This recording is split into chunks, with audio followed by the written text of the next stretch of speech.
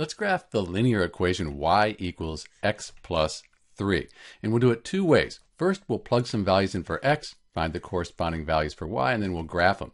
Then we'll check our work with the slope-intercept formula, y equals mx plus b. So I like putting a 0 in for x when I start out because I know that'll show up on my graph. 0 plus 3, that gives me 3. Let's put a 1 in. 1 plus 3 is 4, and then a negative 1. Negative 1 plus 3, that's just 2.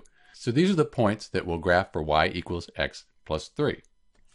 So we find x is 0, that's right here, and y is 3, 1, 2, 3. That's our first point. We have x is 1, and then y is 4. And finally, we have x is minus 1, so we go this direction, and y is 2.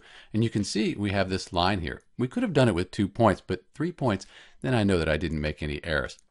Let's put a line through these points. And then we'll put arrows to show it goes to infinity. Now we can check our work with the slope-intercept formula.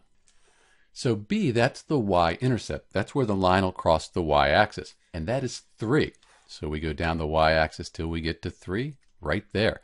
So that's our first point. Now we can use the slope to figure out the rest of the points. So in front of the x, there's a 1. We don't write it by convention, but it's there. And we can think of the slope as 1 over 1. It's still just 1, but now we have rise over run. So we go to the y-intercept, rise 1, and go over 1. And we can do that again. Rise 1, go over 1, rise 1, go over 1. And we can do it in the opposite direction. We could go down 1 and 1 in the opposite direction. Down 1, and 1 in the opposite direction. And you can see all of these points are on our line y equals x plus 3. So we did this part correctly. This is Dr. B with the graph for the linear equation y equals x plus 3. Thanks for watching.